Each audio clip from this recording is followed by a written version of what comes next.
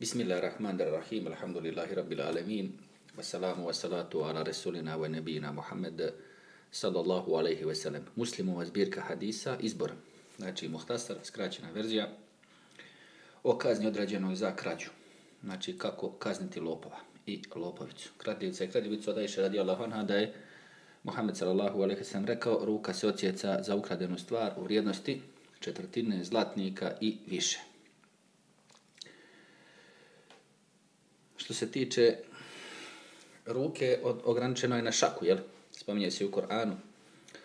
Ruka, ali ograničenje došlo u hadisu jel, na šaku. Znači, pokazao Muhammed sallallahu sallam, to je ostalo da zaplaši ove lopove. Pa su ove neke sekte misle da treba čita u ruku, kida znači u ramenu, što nije tako. Dalje, od Ibn Omera, da je Muhammed sallallahu alaihi sallam odsjekao ruku kradljivcu koji je ukrao štit, čija vrijednost je bila tri srebrnjaka. Znači, naredio je da se to uradi. A i kad kaže napisao ugovor i tako, kad se spominje, znači nije on lično pisao, nije znao da čita i da piše. To je vrlo bitno, jel da ne bi rekli, išao je u neke najbolje škole, znao je da čita i da piše, pa je prepisivao iz drugih knjiga i tako dalje. A i opet će oni govoriti, opet su kafre govorili, to znamo iz Korana, ali nemaju dokaze. Jel? Tako kad kaže neko je odsjekao, znači naredba je data pobjavi, ne mora znaš da neko je sam to uradio, lično to djelo. Jel? Dalje, Što se tiče kad je za jaj od Ebu Hore radijallahu anhu da je Muhammed sallallahu alaihi sallam rekao Allah je prokreo kradljivca, znači prokledstvo je na kradljivca koji ukrade jedno jaje, pa mu se zbog toga ociječe ruka i onoga koji ukrade uže, pa mu se zbog toga ociječe ruka. Znači nešto sitno i malo. Ovdje u komentaru ima više značenja, jer Neovi kaže pokuđena krađa upozorava se na loš ishod, svejedno bila mala ili velika, kao da se kaže da krađa beznačajnih stvari dovodi malo pomalo do krađe velike stvari ko se zaslužuje kazna i tako mu ocijeku ruku. Zbog čega? Znači, zato se treba kloniti prije nego što mu to pređe u naviku kako bi izbjegao taj koban završetak. Obično počinje ovako, kradu kod djeca, pa se djeci neki da ruke, pa ko mladići, pa i ne vide ljudi, pa nema dokaza i sve tako dok kasnije ispane da su to profesionalni kriminalci koji su najveći lopovi. Jel, inače, profesionalno se bave lopovluk. Kaže, ispravno da se ovim ukazuje na vrijednost onoga što je izgubio ruku zbog beznačajnog imetka, četvrtine zlatnika, jer u odnosu na ruku i to je bezvredno poput jajeta i užeta. Inače, neki su govorili da se odnosi ovo na uže, kao na uže ono, od broda, pa to ima veliku vrijednost. Pa neko kaže jaje, pa neko nojevo jaje ili neko jaje od neke posebne ili skupe ptice i tako dalje. Ali nije to, nego je to derogirano bilo, znači. Prvi komentar, ovo što se što gore spominje neovi, tako je, i ovo drugo može biti ali inače to je derogirano, znači u početku, rekli smo za neka djela, išlo se u džehennem vječno i zauvijek, ko bi ih počinio, a nisu kufri širk, kao namjerno ubistvo vjernika, što se spominje u Koranu i ko bi se ubio sam sebe. Pa smo vidjeli kasnije da je to derogirano da Allah subhanahu wa ta'ala oprašta svoj sin širka. Kufra znači nevjerstvo znači. I onda ima oni dijelovi, jeli, kad je čovjek ima uzor za to, jeli, izvinjenje za to, ne da je to halal, nego zato što je tek novi u vjeri ili nije čuo da je došla zabrana nečega ili tako dalje i preletlo mu preko jezika i tako dalje. Za neke vrste kufra i širka, ne normalno za sve, jel? Jer imamo primjere u roditeljima Muhammeda sallallahu sallam da se može tako opravdati sve, ne bi oni jeli umrli kao nevjernici i njegov djed i tako dalje. To bi bilo to, jel? Znači, to je derogirano da se samo za jaje kida, nego ima ta neka vrijednost. Mora imati neku vrijednost. Inače, uvijek ide ako može da se oprosti. Ili ako čovjek uhvati nekoga, ne mora ga prijaviti miliciji, znači islamskoj, muslimanskoj, šarijatskoj, reći ovaj ukrao, nego može da ga posavjetuje, da ga pusti. Jer je to poznato iz hadisa Muhammeda sallallahu alejhi ve sellem prije sam o tome detaljno govorio o čovjeku koji je ono zaspao u mesčidu pa uhvatio na dijelu kako ovoga, ovoga kako krade pa ga doveo do poslanika s.a.v. i rekao Muhammed sallallahu alejhi ve sellem da vodite ga i otkinite mu ruku jer šaku znači pa je ovaj rekao nisam to želio htio ga samo da ga ono jeli, da ga slabije kazni ili da ga ukori ili da mu nešto spomene. Pa je rekao Mohamed sa srem, zato što je došlo, znači parnica se digla i kad se presudi mora se Allahova kazna izvršiti. Inače ne moraš čovjeka, kufatiš, nego ga znači na licu, mjesta ti nešto krade, ne moraš ga voditi. Moraš ga pokušati posavjetovati, tako, ko brata muslimana i tako dalje. Tako da nisi grešan ako ga ne tužiš, to što se tiče tebe lično. A ako tamo znaš da neko krade na veliku islamsku jeli, imovinu muslimana na veliko, znači ti veliki pljačkaši, što ne krade ono lično od tebe ovako neku stvar, nego na veliki lopovi, znači korumpija, kor, korupcija i to, to smatram da je obavezno prijaviti takve ljude. Protiv ti se ljudi boriti. Pa makar i vladari bili, jel? To je poznato, jel, da ima pravo i neustanje na borbu protiv vladara. Poznato. I kad ne ostave namaz, navodio sam detaljno hadise, takih hadise imaju Rijadu Salihin. Ne treba tražiti e, kao što oni smatraju tamo neke udaljene zbirke, nešto. To u Rijadu Salihin odmah ima čak će kazna pas na sve ako, ako ga ne zaustave. To je ono iz najpoznatijih hadisa, kad neko vidi neko zlo, neka promijeni ruko. Isto tako što se tiče tih vladara lopova, ne smije se ići na njihova vrata i tako dalje. Tražite od njih ništa to. Navodio sam detaljno te hadise. Pa onda isto tako je da je najveći džihad reći riječ istine u lice tome nepravednom vladaru. Nepravednom, je to musliman, ali nepravedno, pa mu se kaže ti si ukrovo ovako, onako, Prema tome, gdje nije dozvoljeno ih napadati i, i kritikovati i zaustavljati rukama. Jer po hadisu kazna će sve obuhvati da ga ne spriječe. I mora se čak privoliti na dobro i tako dalje. To sve poznati hadis, jer... Dalje, ali je zabranjeno se zauzimati za neizvršavanje određenih šarijatskih kazni. Znači, kad već dođu, kad već do to postane javno, kad već počne parnica, gotovo je više, jer od Aisha radijallahu anha, a supruga Muhammeda sallallahu alaihi sallam, da je Kurešević je zabrnuo problem jedne mahzumike koja je ukrala nešto za vrijeme poslanika sallallahu alejhi ve sellem na dan osvojenja Mekke. Upitali su ko će se za nju zauzeti kod Allahov poslanika sallallahu alejhi ve sellem. Rekli su to bi smio samo Usame ibn Zaid miljenik Allahov poslanika sallallahu alejhi ve sellem. Pošto je Muhammed sallallahu alejhi ve sellem puno volio Zaida radijallahu anhu koji pada kao šehid, a njegov sin je bio znači tako isto dobar musliman, evo vidimo kako ovo je protiv oni Rafidija, protiv Šija, jel? Jer bio je neko drugi iz Ehlul Bejta, su mogli reći, hajde to, dava se prednost ehlu bejtu, nek ode neko, nek ode Alija, ko se usručuje, nek, ne, nek Alija ode, nek Fatima ode. Ne nego je otišao sam Ibn Zaid, koji nije uopšte iz Kurejša, čiji je baba bio oslobođeni rob, koga je Muhammed s.a.v. oslobodio, odgojio, odgojio ga kao svoga sina, znači kao svoje dijete, a isto za Usamu, znači spominje poznate dove koje učio Muhammed s.a.v. za Hasana i za, za Huseina i za Usamu isto. I bili su tu mnogi drugi iz Ehlul Bejta. Pa što baš njih nije izabro, nego su svi ovi znali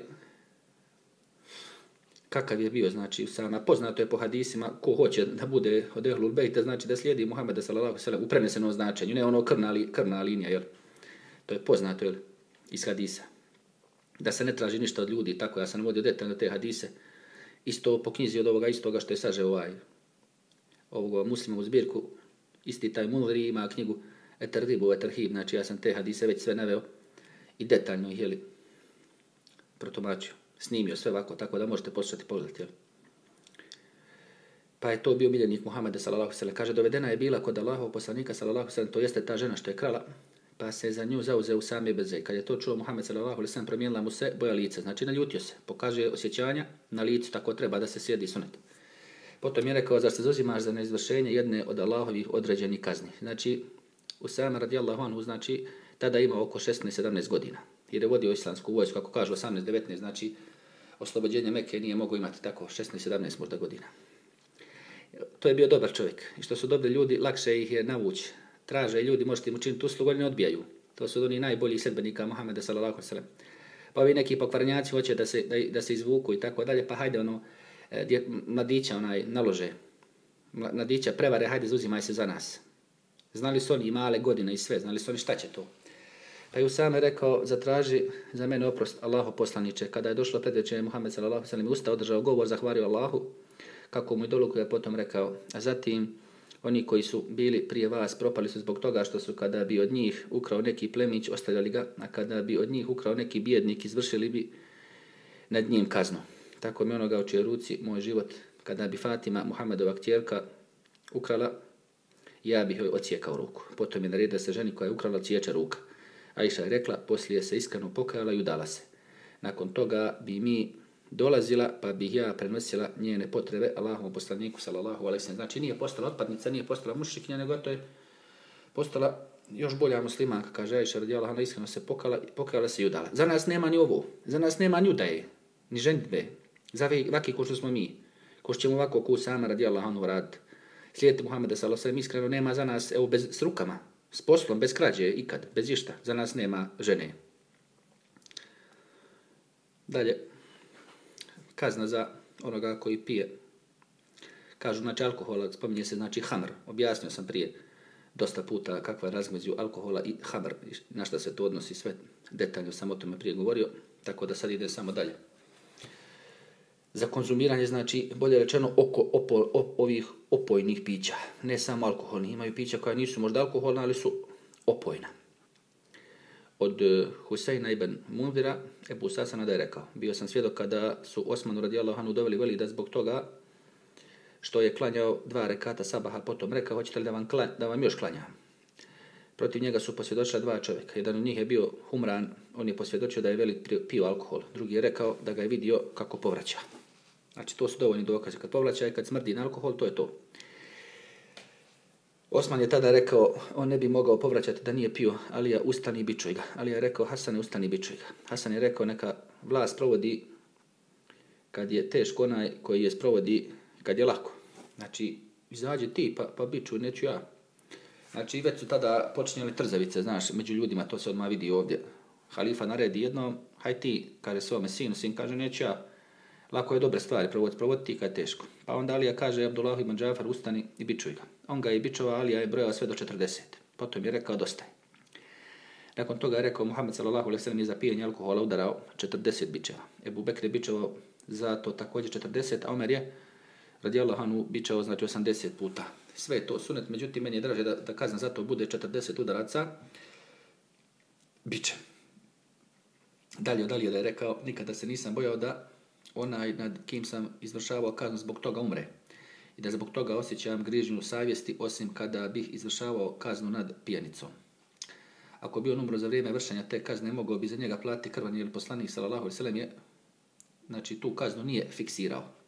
Znači tako je Alija znao i shvatio, Pa zato je mogao Omer radijallahu anhu da podigne to. Inače da je bila fiksirana kazna, ko bi htio da promijeni, da poveća ili da smanji, bio bi kafir.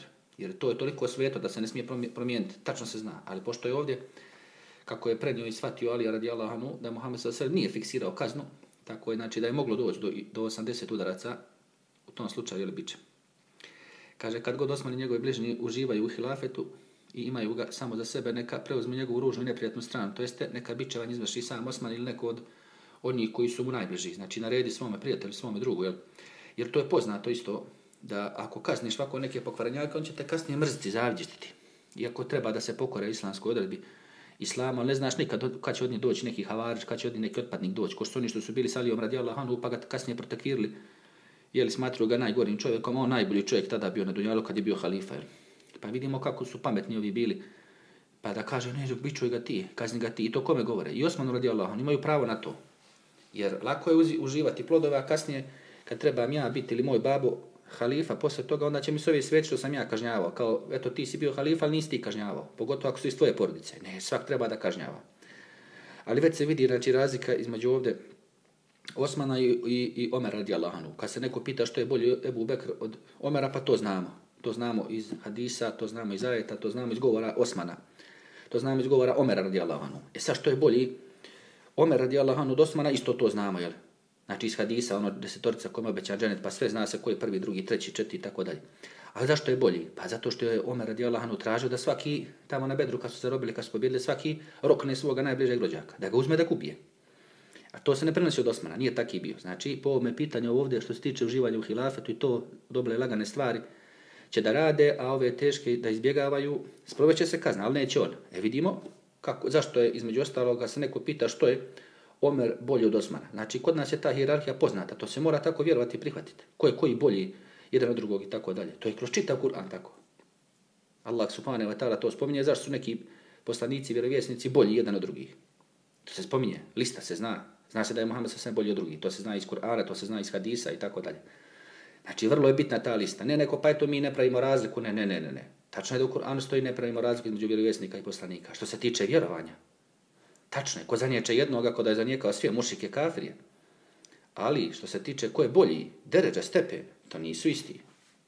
Prema tome, evo vidimo ovdje između ostalog jednu vrijednost Omera nad Osmanom. Allah zadovoljan bio sa svima, ili radi Allahu anhum. I tako dalje. Jer od Ebu Burde Lensarija da je čuo Muhameda sallallahu alaihi sallam da je rekao niko nema pravo da kažnjava sa više od deset udaraca bićem, osim kada je to Allahovom kaznom određeno. Znači, znači ovo kada nije određena kazna, može da bude jeli, samo do deset. A što se tiče, znači ono malo prije što je Alija rekao, nije određeno, nije fiksirano, znači bilo je oko 40 udaraca. za vrijeme poslanika sallallahu alejhi ve. Znači nije to isti propis. Ovo je za nešto mnogo manje od pijenja, je li, alkohola, mnogo manji grijeh. Jer pijenje alkohola povlači sa sobom mnoge druge grijehe. Znači prvo si ga kupio, pa si pravio tu zabranjenu transakciju, pa si onda nosio to do mjesta, znači gdje ćeš piti, transportovao si to, pa si onda pio, pa je to treća stvar, pa onda ovaj došao u mešćid, ne smije ni to, ni prići mešćidu, pa onda klanjao pjan, da je bar stao tamo da, da otklanja, zavisi sve koliko je pjan, nego došao još u, u mihrab još da predvodi namaz ljudima. Znači tu je četiri, pet tih grijeha počinio, znači ako bi za svaki taj bilo udaranje, e, ako je nešto drugo, za svaki taj tih grijeha ako bi bilo po, po, do deset, znači bilo bi već preko četrdeset. Ali ne može se baš to tako računati, jeli nije to nije to e, logička matematika, ima nešto što je iznad logike, a to je objava. To je IT i hadisi. Mada priznaje se jedna logika koja je, koja je ona jezička i matematička logika, jer se ta, zna tačno vrijednost i brojeva i, i, i riječi i govor, zna se tačno šta riječi znače i slova i tako dalje. Tako da se odbija ona logika što će ti kafiri, tamo pogotovo ateisti. Pošto ne mogu nikako da odu van onoga, jeli da ništa ne daje ništa, znači od ništa ne može doći nešto. I onda moraju priznati da je stvoritelj postoji uvijek i od uvijek i ono ko što je u Koranu jer prvi i posljednji kao što Allah subhanahu wa ta'ala kaže za sebe i onda su oni počeli da lažu da, da idu suprotno logiki, znači logici ovoj naučnoj, znači matematičkoj i jezičkoj. Pa tako govore može od nešto, može nešto da dođe iz ničega, može znači da nešto što ne postoji stvori nešto što postoji, a to što je stvorilo uopšte ne postoji. Znači to su ludorije, to ne može. Pa onda hoće da kažu da daju definiciju ničega. Znači ne može to. Nečega što ne postoji da daju definiciju, pa onda idu suprotno značenju nule u matematici tako da Sve se to odbaciva kao njihove satanske ateističke ludorije. O tome sam prije detaljno govorio i objašnjavao kako ima i raznih ovih ateističkih sekti. Nije to samo jedna, jedna jeli, nevjera. Ima tu više nevjerstava raznih sekti ateističkih. I oni ne vjeruju svi isto. Dalje od Ubade ibn Samita da je Muhammed sallallahu alaihi wasallam uzeo od nas, kaže, prisegu kao što je uzeo i od žena. Da Allahu ne pripisujemo druga, da ne krademo, da ne činimo blud, da ne ubijamo svoju djecu, da ne potvaramo i ne lažemo jedni druge i rekao je ko od, va, ko od vas preuzeto izvrši imaće nagradu kod Allaha. Ako od vas uradi neko djelo za koje je propisana određena kazna, pa ona bude izvršena nad njim, to će mu biti iskup. Znači za neke grije, kad bude čovjek kažen na dunjaluku, neće radi toga biti kažen na ahiretu, za neke grije. A za neke grije, ako bude kažen, bit će kažen na ahiretu. Znači, ako ubio nepravedno čovjeka, pa ako bude ubijen na, na dunjaluku, jel, svakako jel, kao odmazda, ovaj ubijeni tražit će svoje pravo, jer nema on veze s tim što su vamo nasljednici neki što, su, što izvršen nad njim kazna. Nema on veze s tim što ga ovaj ubio. Tako da će ovaj imat pravo da traži. Kaže, to će mu biti iskup a kome Allah to prikrije njegov slučaj kod Allaha. Znači neke grijehe koje Allah subhanahu wa ta'ala prikrije, znači čovjek i radi, ne, ne, ne, da, ne da nikome ne kaže, nego radi svoje slabosti, znači tako čini, i onda ako ih pokrije, nadati se da će mu Allah subhanahu wa ta'ala oprostiti. Imaju rivajet, imaju hadisi za to. Da će neki sigurno biti oprošteni, a neki, jeli, možda će odgo biti kažen, ali to opet ne mora za sve te grijehe, možda za jedan dio takih grijeha. Jel? A kaže, ako htjedne, kaznit će ga ili će mu oprostiti. Znači, evo imamo to To su poznati sve rivajti. Dalje poglavlje što se tiče sudstva, el kada i što se tiče svjedočenja. Mušahedat ili ešahedat. Znači ono što se tiče šehida. Znamo, znači šehid je onaj mučenik, kao što se može još kod nas prevesti i reći. A ima, znači, šehid, znači, svjedok isto. Ovdje znači svjedočenja, šehadat. A ima ono isto je šehada, znači kelima. Ili kelima ili kelimetu šehada, znači riječ svjedočenja. Šta to svjedoči čovjek? Da nema drugoga Boga osim Allaha subhanahu wa ta'ala i da je Muhammed sallallahu alaihi sallam njegov rob i njegov poslanik. To znači ima razni vrsta. Što se tiče jezički, a što se tiče i u islamu, znači šeljatski. Na što se sve to odnosi? Sudi se znači po izloženim i po dokazima, a i po toj vještini, jel? Jer ne može se od toga. Znamo da ima u nečijem govoru sihra ali i pozitivno i negativno značenju. Znači čovjek to ono opčara ljepotom govora. Iako recimo poziva na dobro i radi, dobro i dobar je čovjek. Pa u tome, u takvim momentima je normalno nije to pogrešno, niti je to problematično. Problematično je znači ako se bavi nevjesno, znači onom vraćanjem, gatanjem, magijom onom što se zove sihr. Pa još je pokvarenjakih traži satansko pokvarenjaštvo, to je razlika. Umu Seleme radijallahu anha, a žena je bila Muhammeda sallallahu alaihi sallam, prenosi da je Muhammed sallallahu alaihi sallam čuo pred pirku, pred vratima svoje sobe, pa izašao i rekao, ja sam samo čovjek, meni dođu parničari. Moguće je da neki od njih bude vješti od drugog, pa pomislim da je iskren, pa presudim u njegovu korist. Znači, opet je Muhammed sallallahu alaihi slijedio, po, e, znači, slijedio i sudio kao što je nama naređeno po dokazima. Znači, slijediš ono, vidiš od istine što su dokazi. Ali opet i ti što dokazuju imaju, razumiješ, e, tu vještinu govora kao što sam malo preno spomenuo. Jel? Kaže, međutim, kome bespravno dosudim pravo nekog muslimana, neka zna da je to dio džehennemske vatre, pa ako hoće neka je ponese ili ostavi. Znači ovdje sudi se po dokazima, a isto i ti što dokazuju, neki budu vješti. Pa onda, jeli, može tako da dođe do te neke presude gdje čovjek nije kriv, pošto kaže ja sam samo čovjek, tako i kad je sudija. Kad sude po Allahovom zakonu i sude, znači po znanju i Allahovog zakona i, slu, i sude po tome što je dokazal, onda ako pogriješ imaju jednu nagradu. Onda. A ako znači uzmu mito u sudu, to je kufr, to je širk. To znamo od sahaba, od Abdullah ibn Mesuda između ostalog. Kaže mito u, kod hukma, kod presude, kaže to je kufr. Nema tu, ne možeš podmiti da neko presudi prema nekome drugom zakonu. To je ibadet, to je obožavanje onda satane, taguta. Zbog toga se spominje dosta mjesta u Kur'an da su nevjernici oni koji ne sude prema Allahom zakonu i da su taki od munafika i da su taki od, od teških pokvarnjaka, znači mušrika, to, to se zna. Neće ti muslima nikad traži da se sudi po sat, satanskom, tagutskom, nevjerničkom zakonu. Neće to musliman tražiti nikako. Hoće islam po pitanju, jeli, kad je on u pravu, a kad nije u pravu, hoće onda po satanskim, nepravednim, paganskim pokvarenim zakonima. Normalno ne može biti takav musliman, to je jasno. Eto tu neki iskoriste logiku. Za, da nema ništa. Da nema ništa da je taj hadis po tom pitanju, pa bi se znalo. Znalo, to normalan čovjek bi znao. Znači, no, znamo mi za neke stvari, to se zna.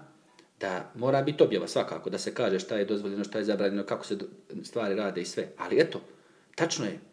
To bi ljudi znali da nije ništa objavljeno, da ne možeš tako. Kako možeš, ko što onaj radio tamo isto varao, ima jednu vagu kad kupuje, a jednu vagu ima kada prodaje stvari. Pa ne može to, znači vara i kad kupuje i vara i kad prodaje. Ne može to, ne može dvije vage imati.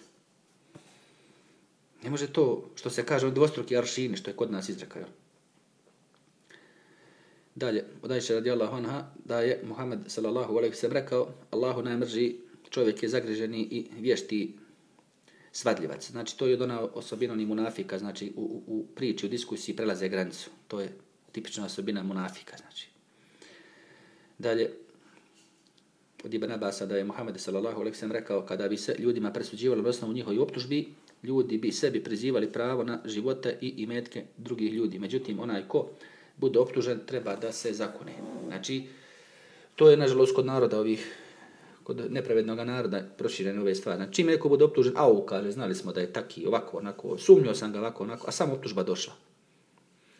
Prema tome, to ništa ne znači. Ako je neko optužen, ukoliko ne bude presuđen, znači, po islamskim propisima, znači po pravdi. A ako nema nikakvih dokaza, onda se traži da se on zakone. Pa ako se zakone, bude pušten. Jer nema nikakvih dokaza. Neće da prizna i gotovo. Ne smije se smatrati krivim zato što dokaza nema protiv njega. Dalje. Morali su biti oslobođeni kao neki ljudi prije kao ona žena jeli, za koju je čovjek optužio da je počinila zinalog s nekim drugim, pa je rodila dijete isto kao taj čovjek za koji je bila optužena. Znači, nevjerovatno liči na, na, na njega. Jel? Danas to ne bi moglo se nama desiti. Tako, to nije bila greška, znači tako se sudilo. Nisu mogli utvrditi tada očinstvo. Danas preko DNK, dezoksiribonukleinska kiselina ili DNK, to se zna. Danas ne može, takav ne bi bio oslobođen. Kaže, nema svjedoka. Danas ono što kamera snimi, ne trebaju ti očevici. Kamera je dovoljna. I tako dalje. Ko je pio alkohol, samo dođeš, zaustavi ga tamo muslimanska, islamska, šerijatska policija, de puhni ovaj instrument, puhne, vidi se da je alkohol, iako ga nije niko vidio, bit će kažen za to. To je jasno, jel? Isto, trag u krvi, isto, sve se to uzima, znači, nema to, neko je silovao ženu, nađena sperma, taj osumnjičen, uzme se uzrak toga i ako se poklopi s njim, znaće da je on. Nema to. Ne trebaju se doći iako je bio masku, iako ne zna žena možda ko je. Ali to se zna, jel? Tako da, danas je kod nas do toga došlo da se to sve može utvrditi što je nije moglo biti utvrđeno za vrijeme Muhameda sallallahu alejhi ve sellem, znači njegovom vremenu nije moglo. Dalje. Od Ibn Abasa da je Muhammed sallallahu alejhi ve sellem presudio na osnovu zakletve i jednoga svjedoka. Znači u nekim situacijama može i jedan svjedok to da bude. Inače, osnova je za nešto dva svjedoka, za nešto četiri i tako dalje. Onda sudija ne smije da bude ljut kada sudi sve sam ove hadise prije spominjao, znači kroz brojne zbirke ovo se ponavlja, ali i treba da se ponavlja, da trebamo ponavljati da bi zapamtili, da bi još bolje shvatili, da nas se to ne bi izvuklo iz memorije, ali ne moram svaki put jel, da navodim detaljna objašnjenja. Od Abdurrahmana ibn Abi Bekra, da je rekao, moj otac je poslao pismo u Bejdullahu ibn Abi Bekrau, koje sam ja napisao bio je kadija u Sidžistanu, u pismu ga je savjetovao da ne sudi među dvojicom ako je ljut, jer je on čuo Muhammeda sallallahu alaihi wa sallam da je rekao neka niko od vas ne sudi među dvojicom ako je ljut.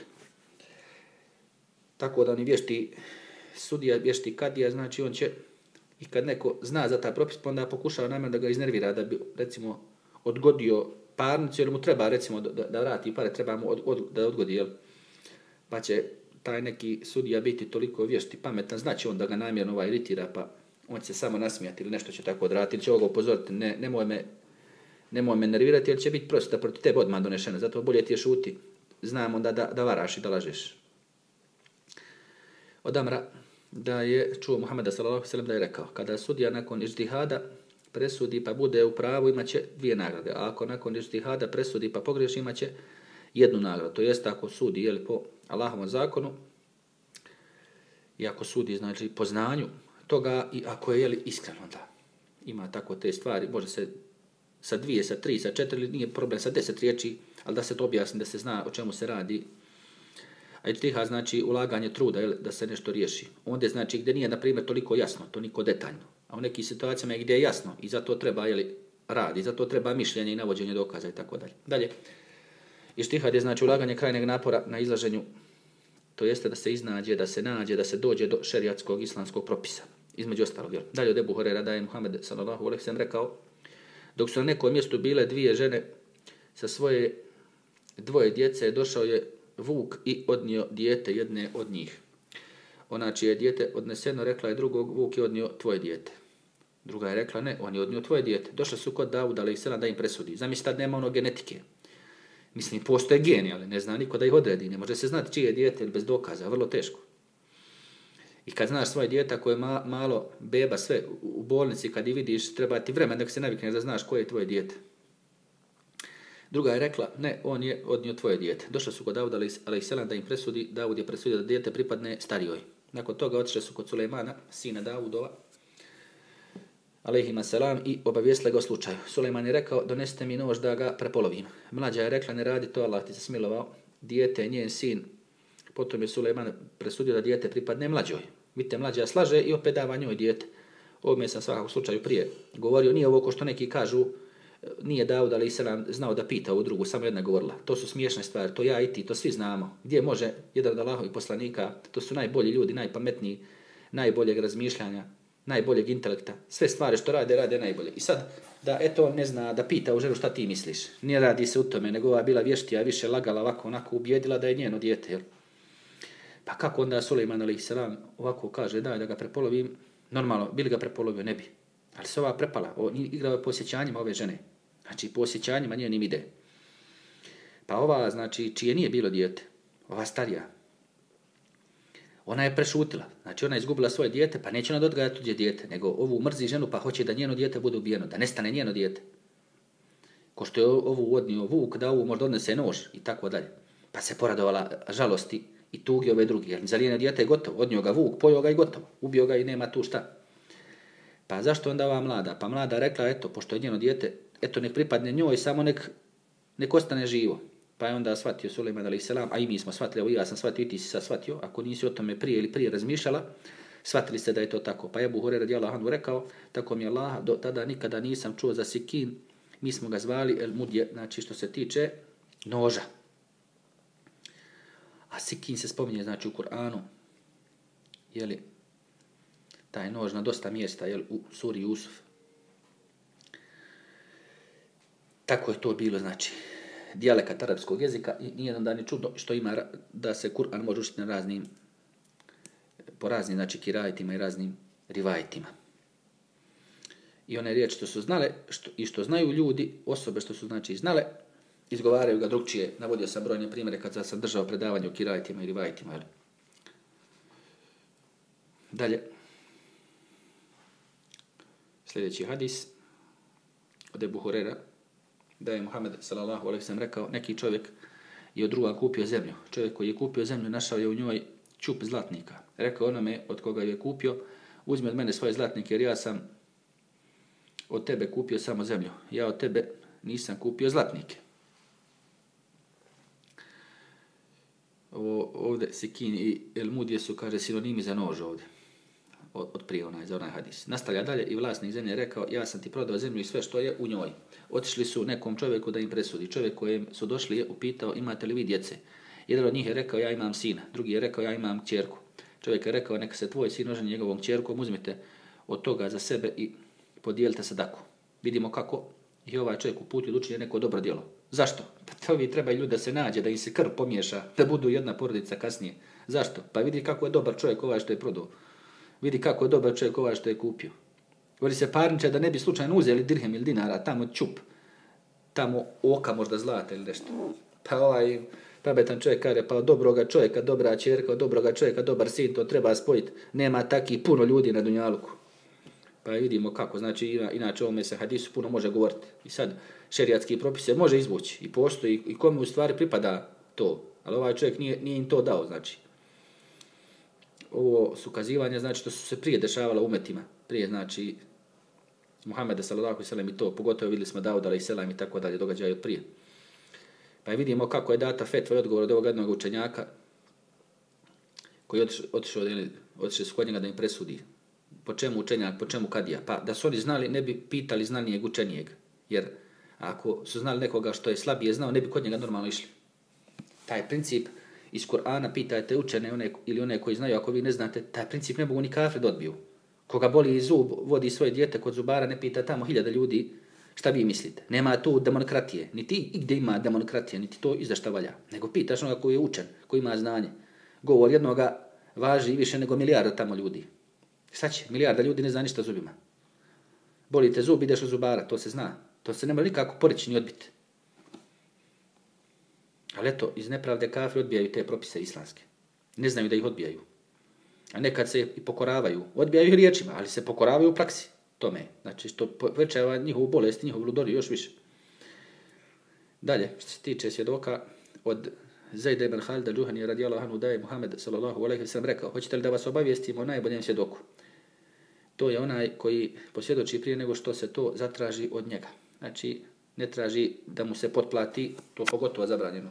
Jer ima neki tražiće da istinu kaže ako mu se plati. A neki će prihvatiti lažno svjedoče ako mu se plati. A neki radi mržnje svjedoči će lažno svakako i tako da. Znači ima tu razni ljudi. Nego ovdje onaj koji svjedoči ne traži od njega ono što je vidio, ima Allah, on će to reći, to je tako, tako bilo i gotovo. Dalje, sljedeće poglavlje. Hadis će biti ovdje pod brojem 1060. Što se tiče jeli, nađene stvari, propisa oko nađene stvari,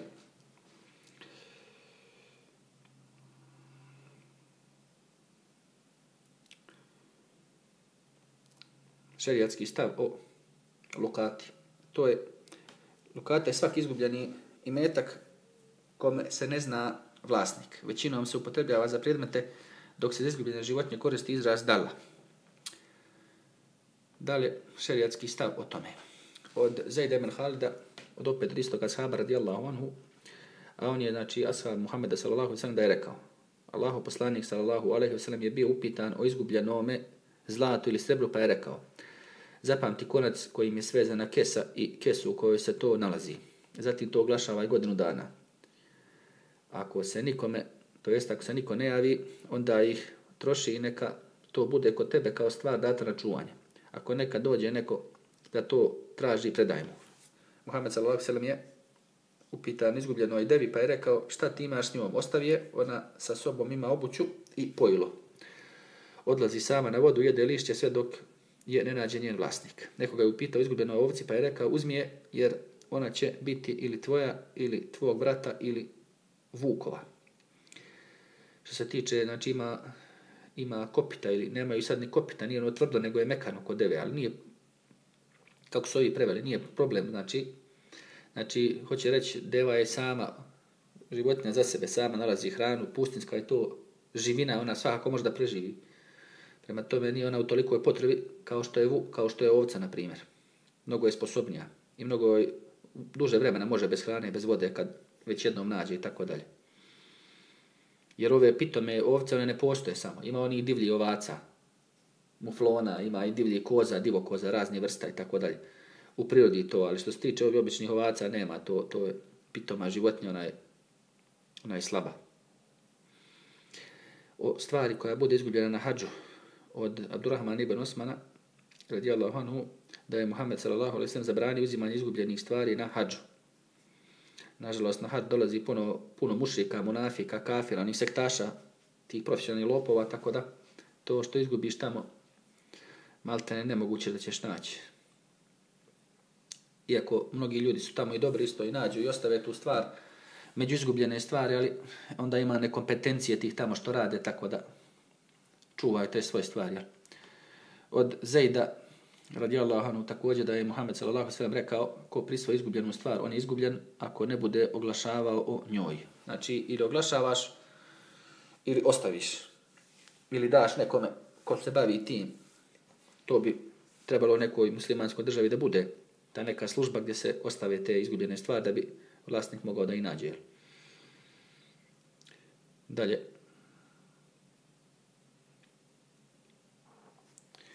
od Ibn Omara da je Muhammed sallallahu alejhi ve sellem rekao neka niko ne muze tuđu stoku bez dozvole. Da li kod vas voli da drugi dođe do njegova skladišta hrane, provali u njegovu ostavu i odnese mu hranu.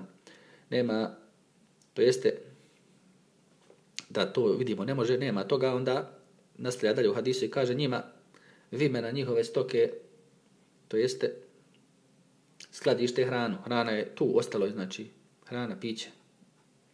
Jer zato neka niko ne mu uze tuđu stoku bez dozvole. Znači ne može se to samo tako uzimati. I to je u nekim ekstremnim situacijama čovjek nešto uzme pa onda ode do vlasti, kaže ja sam to već uzeo da plati i tako dalje. Ima na nekim mjestima, ja sam prolazio još uvijek, ima takvi ljudi neke manje stvari koje su vrijedne, ima neku tamo kolibu svoju i tamo stoji recimo jaja, kaže svježa jaja, on svaki dan već iznese sva i kaže toliko i toliko košta. Znači dođu ljudi ubace, ide se na riječ ljudi, tu ima tako još neki ljudi, još neki mjesta, tako gdje neke stvari ljudi kažu uzme, evo to je, na primjer, jaje ili neki proizvodi, svježe on metne i ubaci tu pare. toliko i toliko košta, pa tako je to ljudi urade, znači ne ukradu i tako dalje. Ali malo je takih mjesta i malo je takih i prodavaca i onih koji kupuju. Dalje, poglavlje o gostoprimstvu. Sve poznati hadisi prije spominjani. Od Okbe Ibn Amira radijallahu da je rekao Rekli smo Allaho poslaniće, ti nas šalješ nekome narodu, pa nas taj narod ne ugošćava. Šta misliš o tome? Muhammed sallallahu alaihi sallam nam je rekao, kada dođete nekom narodu, pa vam ponudi ono što vam pripada, prihvatite to. Međutim, ako tako ne postupe, onda od njih uzmite pravo koje pripada musafirima. Znači, u nekim situacijama se pravo uzeti nečega. Pogotovo, znači, kad se kaže ovdje, ti nas šalješ. Znači, kad se pošle nekom narodu da se uzme zekat od njih tako nešto, onda nema tu, ne prima gostoprinstvo, moja privatna zemlja, ne možeš ući ovo, ono. nema to kad dolazi, znači pobjavi naredba da se zekat mora dat, nema to sad, nego tada se uzima pravo. Ako neće milom, onda silo mora da ga da. Nema to sad moja zemlja, moje, moje stokat. Kad dolazi vrijeme za zekat, kad dođu, treba da je sve spremljeno tu. Svaki to vrijeme što zabušavaš i ovo ono što tamo čekaju danas kamioni, ovo ono, Zato sve će neko morat platiti. Onda ćeš ti morat platiti toga zabušavanja, te prevare i toga. Sve je nečije vrijeme, košta.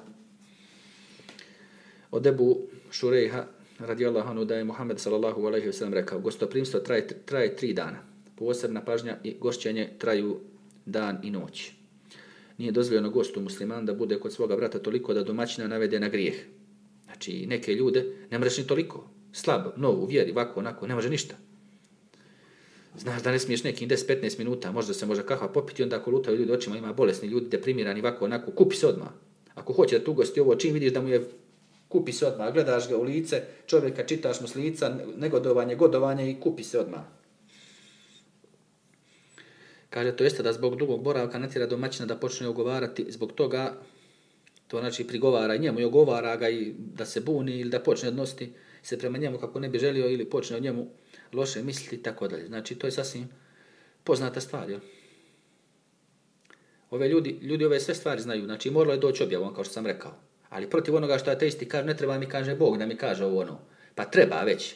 Bog te svakako stvorio. Allah te stvorio, nema drugog Boga osim Allaha.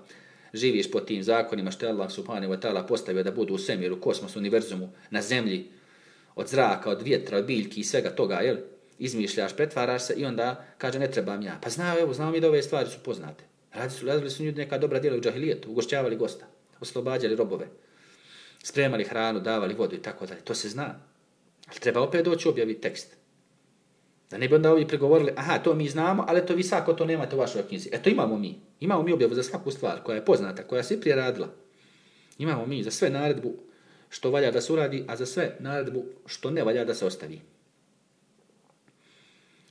Dalje, ashabi su pitali Allaho poslaniče kako ga gost može navesti na grijeh. Rekao je da ostane kod njega, a domaćin nema ničim da ga počasti. Znači ima i tako da se ne bi zaduža, zadužio čovjek. Znači neki ljudi hoće da objašnjenje ili neki ljudi ne znaju, neki ljudi su, nisu shvatili.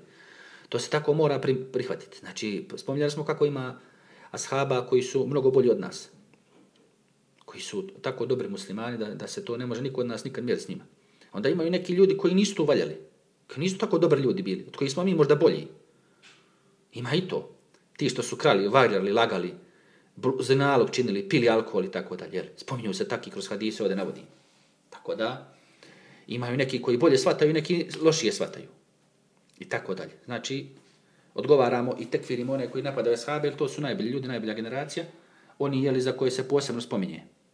Od ljudi i od žena, znači, što su učestvovali u bitkama, činili hijđru, koji su pohvaljeni, što su dali prisegu, koji su bili u pohodima, radili one stvari, jer za koje se sve zna i s njima se ne može mjeriti. Ali od ovih kasnijih koji su gori od nas, onda smo mi bolji od, nis, od nas, o, o, ili od njih, to se spominje. Vrlo je bitno taj tafdil da se to zna, ko je kad bolji, da, kako ide ta hijerarhija, jel?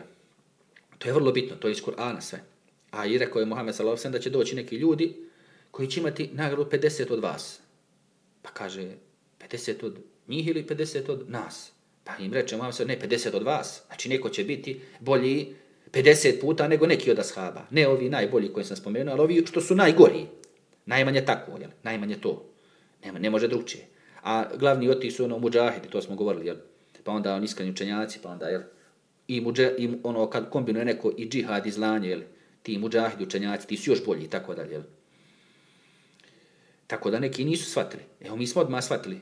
I desetine bi stvari naveo zašto je tako. Neki možda ne shvataju, neki ne znaju. Pa kaže kako to može čovjek navesti je li gosta na grije. Kako? Neki možda ne znaju, neki možda ne svaćaju. Pa im kaže mama sad tako da ostane jeli, kod njega, a domaći nema ničim da ga počasti. Da da im jedan razlog. Neki nisu sve shvatili. To, se, to je poznato iz hadisa Muhammeda sallallahu sallam. Da se smiluje Allah čovjeku koji nešto čuje od nas pa prenese, pa možda bolje shvati onaj koji je čuo nego ta što je prenio. To su poznate stvari. Ne, ne smije neko pripisati, reći to je najbolja bila generacija, pošto su imali najveći razum i najveći, najveću kvotu inteligencije. Pa ne menjaju se tako ljudi. Ne menjaju se tako ljudi. Ne odbijaju ljudi vjeru, istinu, zato što su gluplji. Jer onda ne bi bili krivi. Ili ako ne može da shvati, ako je malo uman i tako dalje. Ne radi se o tome, znači. Tako da, pogrešno neki imaju pogrešno ubjeđenje, pogrešno neki idu. Misle da su oni bolji tamo, boljega shvatanja, boljega pameti, svi oni.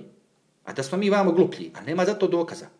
Ne mijenjaju se tako ljudi, ne vjerujemo mi u, u evoluciju razuma i pameti ljudi.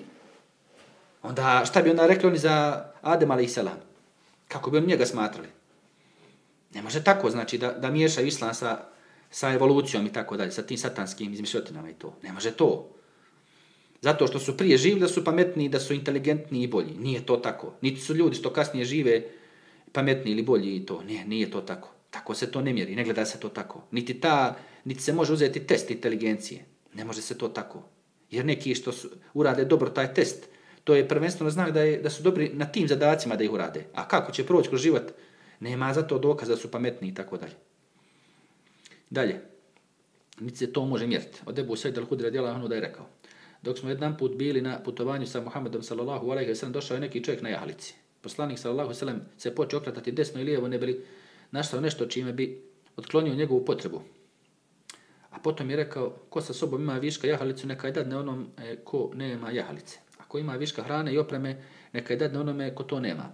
Naveo je mnoge vrste imovine, tako da smo mislili da niko od nas nema pravo ni na kakav višak imovine. Znači u tim jel, posebnim situacijama, bili su na putovanju, jel, pa tada se pomaže. Tad, kad najviše treba pomoći, pomaže se. Isto videli smo što se tiče ove kazne. Kad je prigovorio, jel, Ali sin, e, Omer Osman radijallahu anhu, kažnjavaj, znači ti biću ljude, ti, znači radi to, jel, kad je dobro, kad je blagostanje u hilafetu, nego sad kad treba kazniti ljude, bićovati, ti to radi. Radi sve. Dalje. U prikupljanju hrane i vode na jednom mjestu u vrijeme oskudice i zajedničkom raspolaganju onim što je prikupljeno. Ima to, a ona ima muđiza ono što se desi, jel da, da Allah subhanahu wa ta'ala da Muhammedu sallallahu sallam da od malo bude bereket, da bude dovoljno za mnogo mi tako ćemo rata, ali nećemo, dobi, očekivat ćemo nagradu toga bereketa, ali nećemo očekivati neka čuda, neke muđize. Maksimalno se može neko nadati nekome kerametu, nešto, jel? Od Dijasa ibn Seleme, a on je prednio od svoga oca, radijallahu Allah da je rekao, jedan put smo sa Muhammedom sallallahu alaihi wa sallam krenuli u neku bitku. Zadesila nas je oskudica u hrani, tako da su neki od nas odlučili da zakolju nekoliko jahalica. Potom je Muhammed sallallahu alejhi ve sallam naredio da sakupimo preostalu hranu, prostili smo kožnu bošču, znači neki, neki prostirač od kože, pa na nju stavili tu sakupljenu hranu. Znači ovaj je događaj poznat, ima ga sa više rivajta. Jel? Ovo je jedan od tih. Kaže, dalje ovaj, protegao sam se da vidim koliko je sakupljeno. Ta hrpa je bila u visini koze kada legne. Nas je bilo 1400. Jeli smo sa te hrpe dok se nismo najeli i natrpali svoje zavežljaje. Allah poslanik sallallahu alejhi ve sellem je upitao ima li vode za abdest. Neki čovjek je donio svoju mješinu kojoj je bilo malo vode. Poslanik sallallahu alejhi ve sellem je sasao u vrč. Nakon toga smo svi abdestili ne štedeći vodu. 1400 nas. Nakon toga su došla osmorica i pitali ima li vode za abdest. Allah poslanik sallallahu alejhi ve sellem je rekao voda je potrošena. Znači vidimo kako je ova muđiza bila i kako se ona prekine. Kad kasnije dođu ljudi, nema toga. Inače, Omer radijallahu anhu po, jedno, po rivajetu, znači isto, ovoga događaja je rekao, nemoj da te deve zakolju, znači to su bile deve, koji su još nosile onoj vodu, one najkvalitetnije, jer nema, nema hrane. Pa vidimo kako je Allah subhanahu wa ta'ala dao bereket, to je bila znači muđiza. Jedna od muđiza Muhammada sallallahu alejhi znači da od malo bude dovoljno za mnogo, jel? A vidimo ovi kasnije kad su došli, kaže voda je potrošena. Znači muđiza je završena. Sad su ovi mogli dobiti vodu. To znači neće to uvijek ovako trajati. To je još dokaz ovo što sam ja rekao čemu se mi možemo nadati. Nema više ono muđiza nego može biti znači neki kiramet. Ali vidimo, dobit će ovi vodu. 1400 ljudi dovoljno da, da im po kap ili po kašticu da svaki čovjek od vode, bit će im dovoljno vode, vode od 1400 toga puta i da se okupaju, a kamoli da, da uzmu abdest. Ali, znači, završeno i to je dokaz, znači, završenja muđize. Iako je bio tu prisutan Muhammed sa selem, gotovo je više. Dalje. Poglavlje o džihadu, pošto sam ove hadise, ili sve, spominjao detaljno, sve ove hadise što postoje džihad, Allah najbolje zna i ajte sve o tome spomenuo i posao napred tome predavanja, to će biti znači većino samo navođenje, a neću ponovo znači objašnjavati, tumačiti, jer sam to već, kao što rekoh, odradio.